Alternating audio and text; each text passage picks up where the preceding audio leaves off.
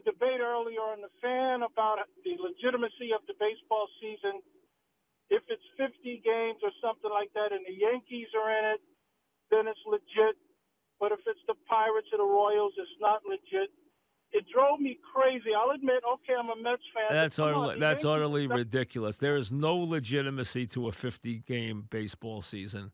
That that is the equivalent. That is the that is the equivalent of playing a 25 game NBA season.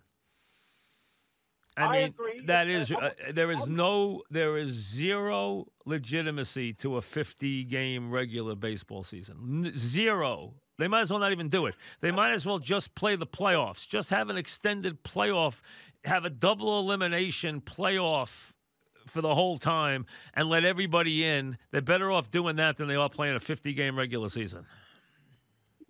I agree. Uh, what drives Mets fans crazy is Right. when you hear someone say, "But if the Yankees are in it and they they're in it, maybe playing the Dodgers, then it's legit." Well, that's so just silly. The That- yeah. haven't been in the World Series in, in 11 years. No, listen, the Yankee, the I think they're in Yankee, it, they get legit.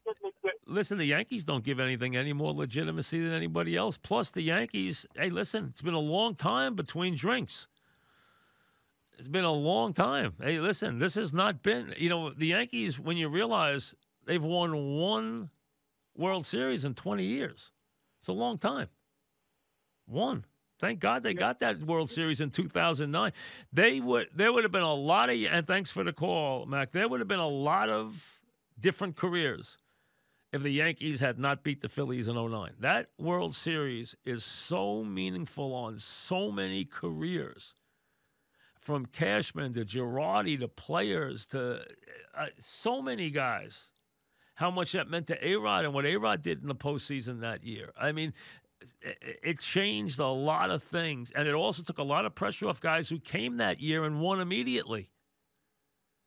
You know, you had a whole bunch of them that came that year. It was a changing year for the Yankees, and they won immediately, which took a lot of pressure off everybody.